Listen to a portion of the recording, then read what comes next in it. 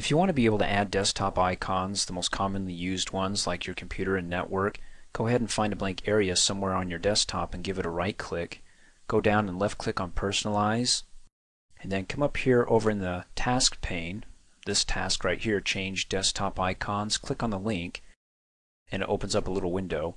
Go ahead and check computer and network or whatever you want to check. Of course I unchecked mine but I do want them so I'll check them.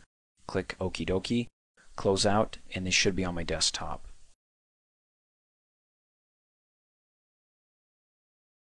Thanks for watching. Hey, as a quick reminder, if you like my video, please give it a thumbs up. You can also click on me and subscribe to my channel, get notified of the latest videos, and for only $2 a month, you can have access to all my Microsoft Office training videos.